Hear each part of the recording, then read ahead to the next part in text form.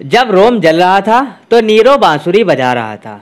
आज जब देश कोरोना संक्रमण की भट्टी में जल रहा है तो मोदी जी चुनाव प्रचार में दीदी और दीदी के गीत गा रहे हैं। केंद्रीय कांग्रेस वर्किंग कमेटी के सदस्य तथा आउटरीच एंड कोऑर्डिनेट कमेटी के उत्तर प्रदेश के प्रभारी श्री प्रमोद तिवारी ने कहा। तिवारी जी ने कहा कि उत्तर प्रदेश के कैबिनेट मंत्री ने अपर मुख्य सचिव, प्रमुख सचिव, चिकित्सा एवं स्वास्थ्य, उत्तर प्रदेश शासन को पत्र लिखकर अपनी व्यवस्था एवं पीड़ा व्यक्त करते हुए कहा है कि कोरोना से संक्रमित मरीजों को ना तो समय पर रिपोर्ट मिल रही है, ना तो उन्हें समय पर एंबुलेंस मिल रही है, तथा न पर्याप्त टेस्टिंग हो रही है और ना ही अस्पतालों में मरीजों का दाखिला हो पा रहा है। उत्तर प्रदेश में कोरोना से निपटने की ये कहानी है, जो प्रदेश सरकार के दावों को स्वयं बयां कर रही है। योगी सरकार कोरोना के नियंत्रण में उत्तर प्रदेश में पूरी तरह असफल है। कैबिनेट मंत्री का बयान पूरे कैबिनेट की अभिव्यक्ति माना जाता है, जब तक कि उसका खंडन ना हो जाए।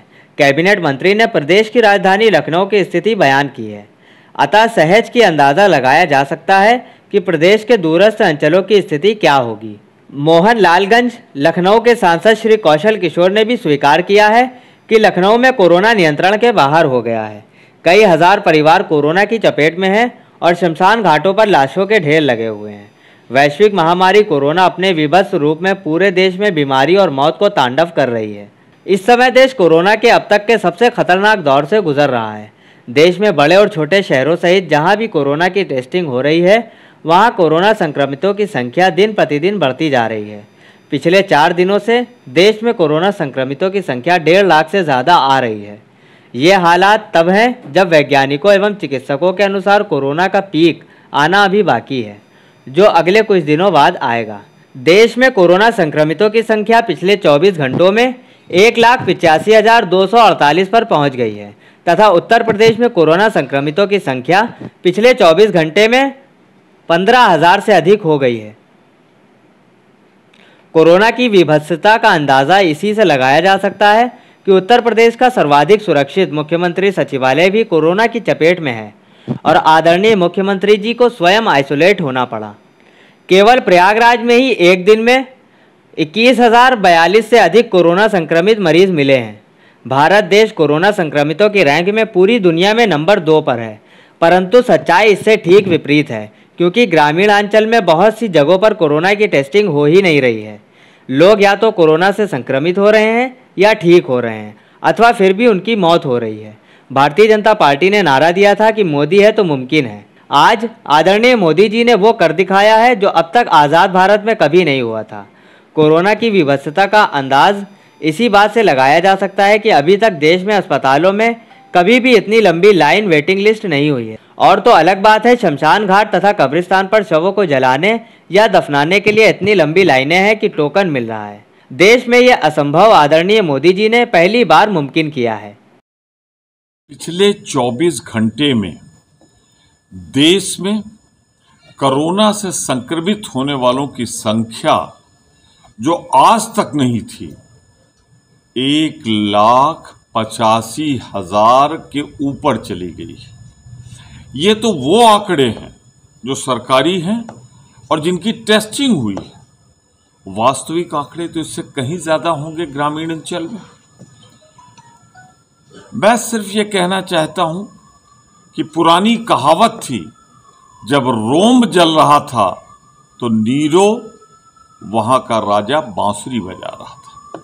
और आज हालात ये है, आज हालात ये हैं कि जब हिंदुस्तान कोरोना के संक्रमण से जल रहा है, उसका बीभत्स स्वरूप है तो हमारे प्रधानमंत्री, दीदी वो दीदी का गाना गा रहे हैं, अभिनय कर रहे हैं, कटाक्ष कर रहे हैं और बंगाल में चुनाव प्रचार के नाम पर एक सारी परंपराओं को तोड़ रहे हैं।